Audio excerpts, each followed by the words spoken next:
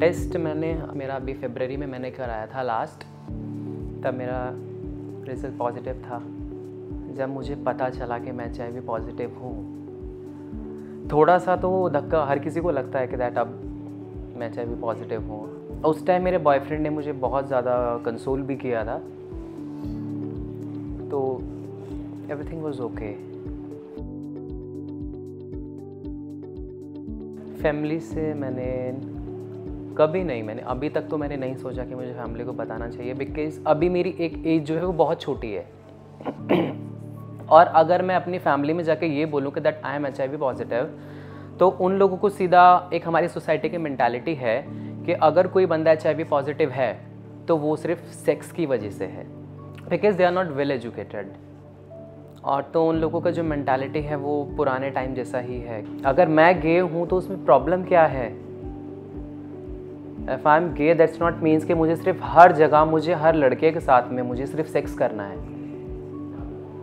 मेरा class first to eleventh था मैं लड़के जैसा ही बट एक होता है कि पता तो चल ही जाता है लोगों को कि दैट हाव भाव से कैरेक्टर देख के। तो फिर स्टार्टिंग से छेड़ते भी थे लड़के और कंफर्टेबल भी हम लोग ज़्यादा लड़कियों के साथ होते थे। ट्वेल्थ में मैंने कि अब और ज़्यादा बड़े हो गए हैं, बड़े लड़के मिलेंगे तो वो ज़्यादा फिर बदतमीज़ी करते हैं। उन्हें लगता है कि दैट ये गे है। तो उन्हें लगता है कि दैट वो भी एक तरह से सिर्फ़ एक सेक्स करने की मशीन है, कि हम उसके साथ कुछ भी कर सकते हैं। मेरी उम्र अभी उन्नीस साल हुई है, होने वाली है अभी सितंबर में। एलेवेंथ मेरा अभी फाइनल हो चुका है बट अभी ट्वेल्थ मेरा चल रहा है।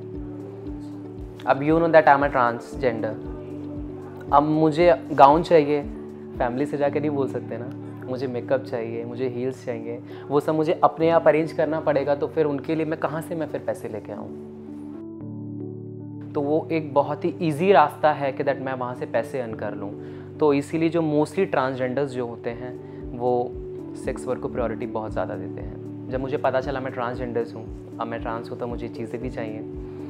तो उस टाइम पे मेरा जो सबसे पहला मुझे एक बंदे ने टू आवर्स के लिए मुझे ट्वेंटी फाइव थाउज़ेंड मेरे को ऑफ़र किया था। And so I was agree and हुआ अभी तो ओके okay था लेकिन तो बट मैंने टू थ्री टाइम्स ही किया है। लेकिन फिर मुझे लगा कि एक होता है ना कि अगर हम किसी चीज़ को ज़्यादा यूज़ करें तो हम उस चीज़ की हैबिचुअल हम हो जाते हैं। तो मैं अभी एनजीओ में वर्किंग भी हूँ उसमें भी हम एच पॉजिटिव लोगों के लिए ही वर्किंग हैं।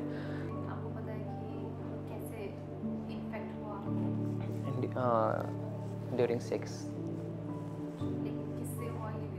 I don't know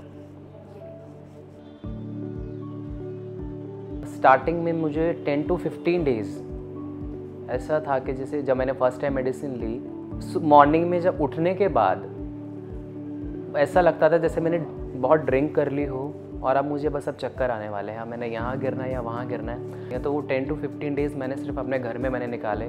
mostly time मैंने सो के कि नहीं, किसी को पता ना चल जाए। मेंटली अगर मैं बात करूँ तो गुस्सा तो मुझे पहले से बहुत ज़्यादा है। छोटी से छोटी बात पे मुझे गुस्सा आ जाता है। मेरे मॉम डैड से मेरी नहीं बनती है। बहुत ज़्यादा लड़ाइयाँ भी हो जाती हैं। मेरी छोटी छोटी बात पे भी नहीं टॉलरेट करने का मन करता। सपोर्ट मैंने बस अपने फ़ोन का लिया है कि दैट अगर मुझे कभी भी गुस्सा आता है तो मैंने ईयरफोन लगाया, अपने सॉन्ग चलाए। पाँच मिनट या दस मिनट के लिए मैंने शांति से गाने सुनने हैं। Okay okay.